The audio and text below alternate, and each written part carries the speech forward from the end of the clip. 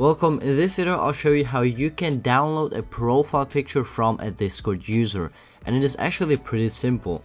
Now the first step is to open up Discord in your browser, that is really important. I'm not sure if it works in the app, but it definitely works in the browser. Then the next thing is you click on the user and you click on view profile. And then what you're going to do next is to click on F12 on your keyboard. Then this should pop up. This is basically the inspect menu where you can inspect web elements in Google Chrome. On top you will click on these arrows and then on elements. And right here you can see the whole HTML code and we want to click on this icon right here. Then it should appear blue and then you can go ahead and click on the profile picture.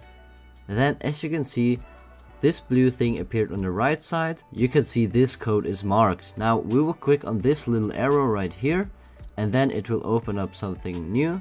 Then you will go ahead and click on that arrow as well and then it will open up something new again. Then you will scroll down, open up again and then you can see there's a new element, open up again and at some point you will see an URL. Now what you want to do is to right click and then open in new tab and this will open up the profile picture of the user in a new tab. Then you could go ahead and copy the URL or you could right click and save image as to save it on your computer. And that is basically it. If you enjoyed it, make sure to subscribe and I have other problem solving videos on my channel that you can check out as well.